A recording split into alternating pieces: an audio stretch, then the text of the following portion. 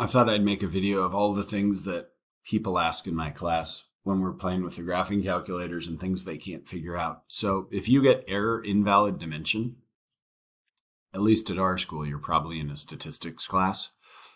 So it actually tells you what to do here, but most people just press quit because all these words look scary.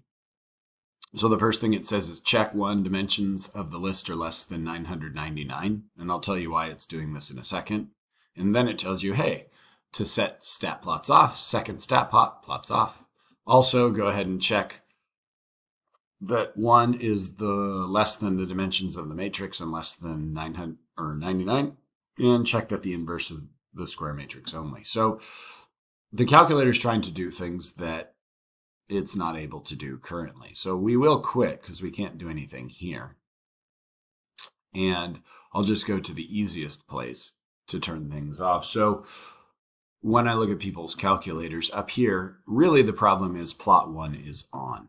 And the easiest way to turn that off is to just press enter. So probably, I don't know, you were doing some regression in your stats class, forgot to turn that off, deleted the data, and things no longer graph. So now if we press graph, oh, there's our sine graph.